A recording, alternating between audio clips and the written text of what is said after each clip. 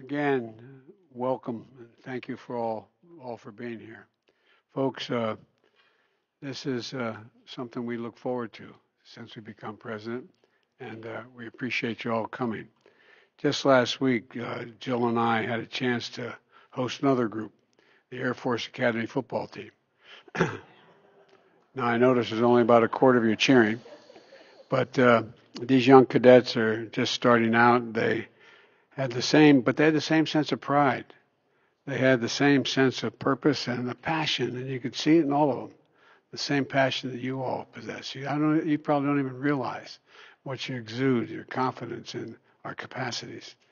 And uh, I told them that they'd soon be joining that long line of American service members, uh, uh, each a link in a chain of honor. And that's how I think about it. When I think of our son, I think of it as just a chain of honor. Each one over the years, that chain has grown stronger thanks to the generation of military leaders you've all trained. And uh, 75 years of a desegregated military, 75 years of women full integration, 50 years of an all volunteer force. And that's hard to believe because I remember most of that. Worrisome. Worrisome. As I said at the uh, at the dinner uh, for the uh, with with the correspondence dinner, I said, you know, when Jimmy Madison wrote the con- that amendment in the Constitution, I was there, but uh, and everybody said, yeah, he probably was. I mean, but all kidding aside, each one of you over the years, this chain has grown stronger, and uh, and a mark of these milestones uh, as a consequence. So I challenge you to keep strengthening that chain in big and small ways to keep sharpening our military edge in the field and across the forces, to keep taking on the challenges of today and tomorrow. You know, I mean, when you think about it, there's no question, there's never been in each of our minds, but there's no question we have the finest military in the history of the world. That's not hyperbole. That's literally true. The history of the world. I think uh, other leaders around the world don't share as shame you as we do are beginning to understand that. In return, you know, the, uh, the fact is, in return, I promise that I will always, always have your back. And uh, our military women and men, we have a sacred obligation. I know I've said it many, many times to prepare those we send into harm's way and take care of them and their families when they come home and care for them uh, in a way that uh, they deserve. And that's a little bit in dispute right now, but I think we'll get that straightened out too politically. And I also want to take a moment to acknowledge the impressive leadership uh, in these last few months. You've armed, you've equipped, you've trained a proud and brave Ukrainian army and helped them preserve their liberty and their democracy. I spent months in Ukraine prior to uh, all this happening and spoke to the Rada and when they were having their debates about who among the strong men would lead, but I was, I have to admit to you, I was a little bit surprised just how, how courageous, how amazingly brave not only the military is, but the, but the, but the Ukrainian people. They're just doing an incredible job. And uh, it's because of you, your efforts to evacuate our embassy as well as in, uh, in Sudan, American citizens, facilitate that and the treatment and capabilities and commitments of our armed forces helping American people anywhere in the world. I, I, you probably don't think about it, but you're just in a remarkable, remarkable, remarkable group of people. I, I mean that sincerely, except for Milley. I'm not so sure. But uh, actually, I don't want. I'm embarrassed him. I said, you know, I'm going to really miss you. He said, I'm not going anywhere yet. don't get sentimental on me, Biden. I'm from Boston.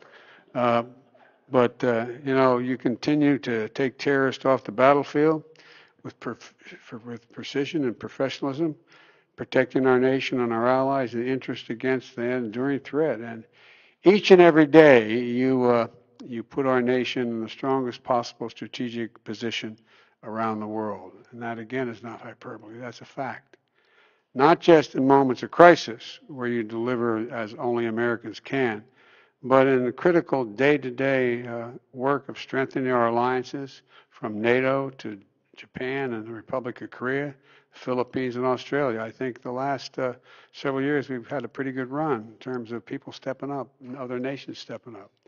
And uh, in anticipation of new threats in areas like space and cyber and building new partnerships uh, like AUKUS. And, you know, taking on the hard missions and tran- that uh, transcends all our borders. I mean, it's, it's just amazing. From responding to the global pandemic to addressing historic levels of migration around the world. In fact, our two combatant commanders, General Cavoli, head of the European Command, and General Langley of the African Command, couldn't be with us tonight because they're standing guard right now. They're running their, they're doing their job in a critical place in critical ways. They're at their post dealing with the war in Europe and a crisis in Sudan. And as you heard me say before, many times I apologize for repeating it, but America is at the world's at an inflection point. I used to have a professor in undergraduate school who said inflection points where you're going down the highway 50 miles an hour and you take an abrupt turn right or left 10, 12 degrees, you can never get back on the road you're on. And it's happening again. We're at a place where the decisions we've made in the last few years, the next three or four years, are going to determine what this world's going to look like, not figuratively, literally, the next three, four, five decades. So there's a great deal at stake, a great deal at stake. And most of it is in your hands. You've shouldered the unique demands that come with these changes. And you know, together we face new challenges, complex threats, and uh, You've remained unflinching, unflinching in your pride, your purpose, and your passion. And that includes all the leaders who will be changing, ch- changing out this summer. General Milley, who I really will miss. He's one of the best I think I've ever served, been with. General Berger and uh, the Marines are going to be missing you, pal. And uh, General um, General McConville, Admiral Gilday, uh, General VanHerck, and uh, General Dickinson. Um, you know, gentlemen, thank you for your service and thank you from the bottom of our heart. You have our deepest respect and gratitude. And finally, I want to thank another important uh, group that's here tonight your spouses and your families.